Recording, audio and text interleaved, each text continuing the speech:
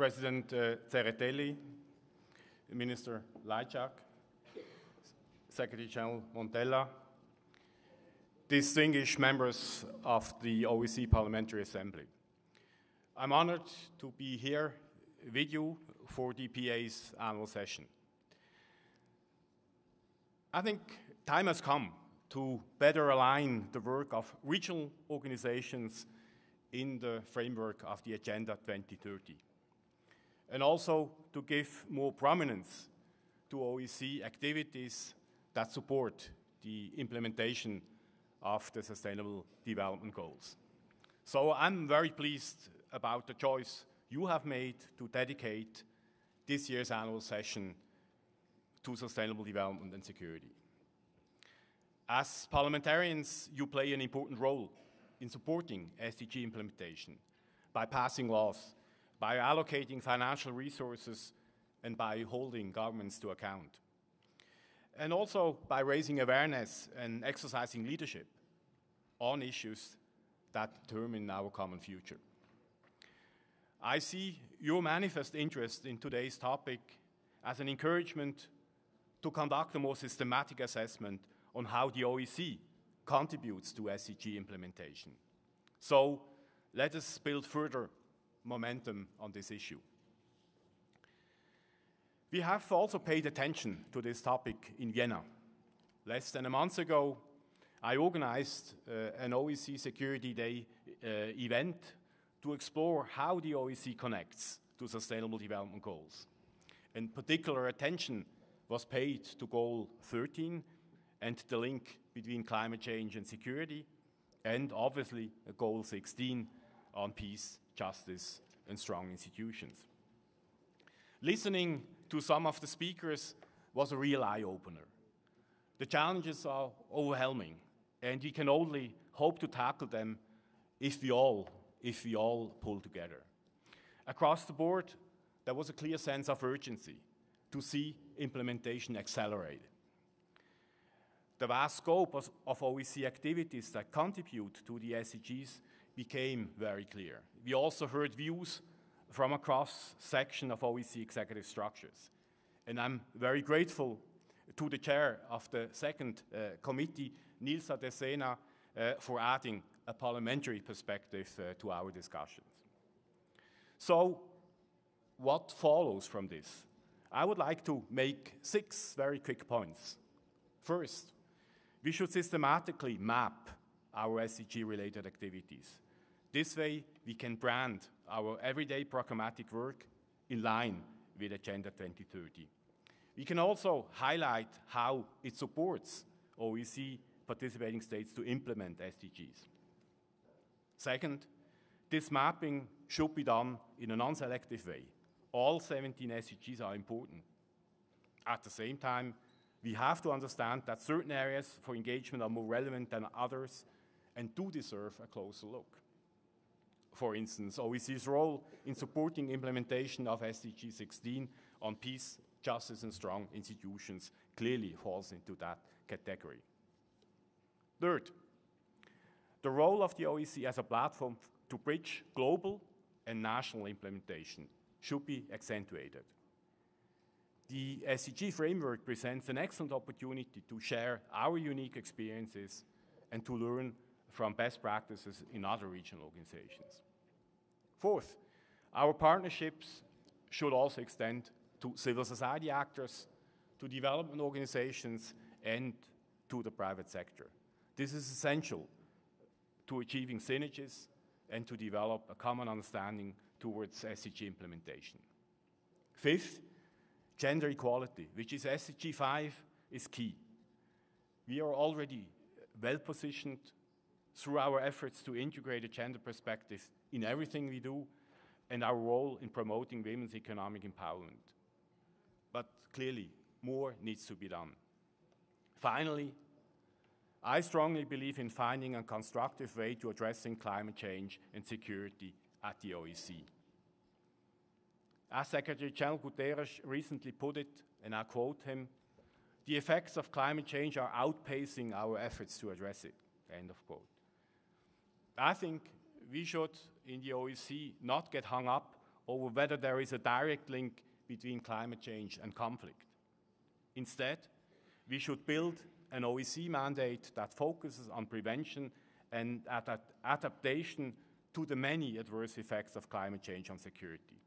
Or, to put it differently, uh, and in even simpler terms, assess the impact of climate change on security and help participating states to address them.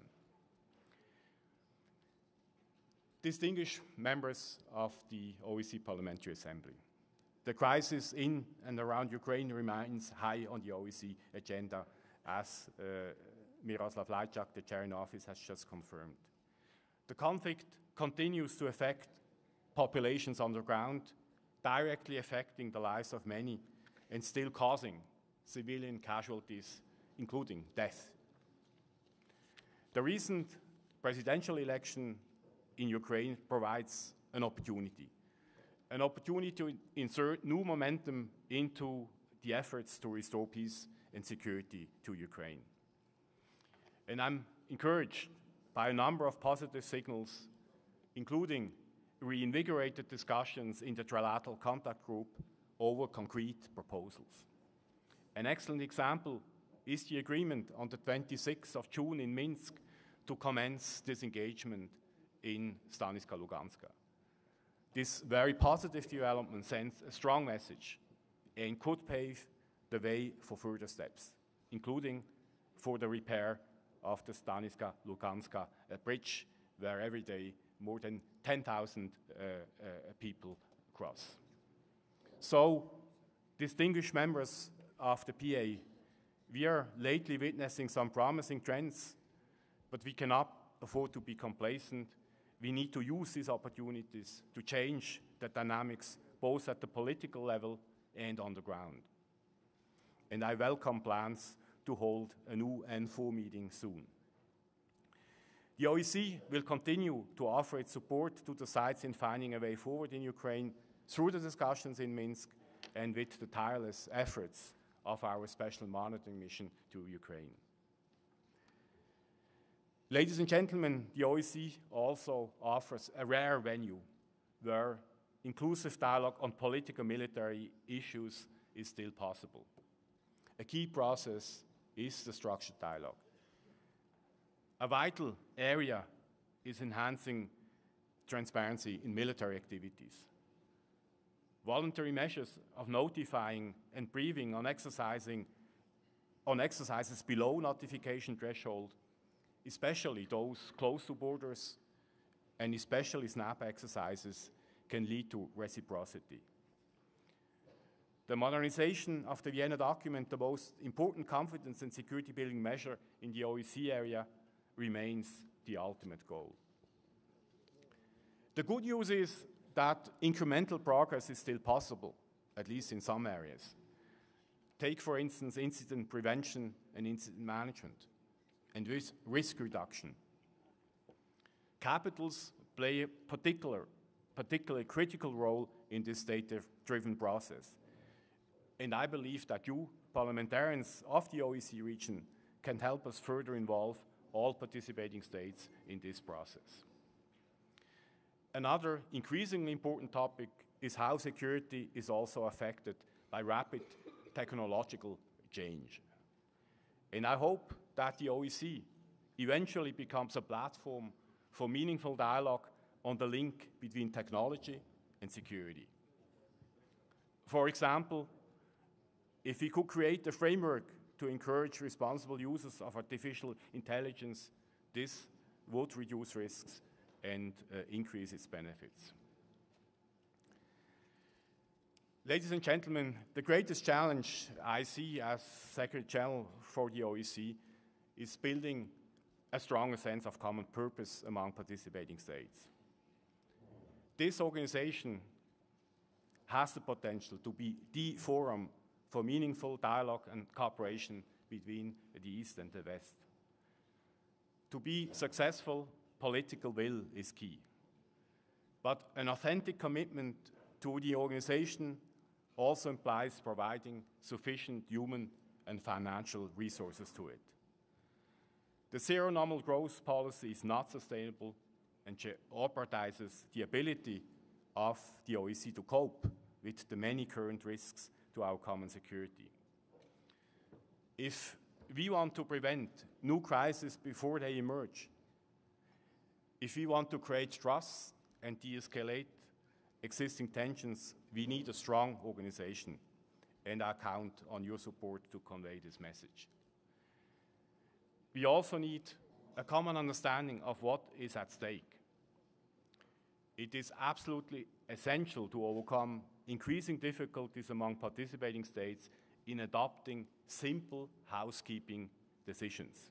Housekeeping decisions like adopting conference agendas, like uh, approving budgets on time, like appointing auditors for the organization, or agree on simple IT updates. Routine decisions should be discussed at the technical level and not politicized. In conclusion, I would like to express my gratitude to President Tsereteli and Secretary General Montella for the excellent relations that the Secretariat maintains with the OSCE PA at all levels, really at all levels. And of course, congratulations, uh, dear Roberto, uh, on your uh, reappointment by the OSCE PA Standing Committee.